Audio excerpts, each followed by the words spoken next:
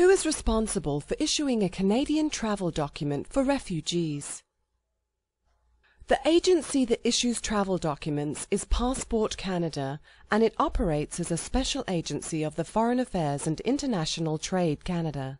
For everything you need to know about this process, click the hyperlink or call the number below this video.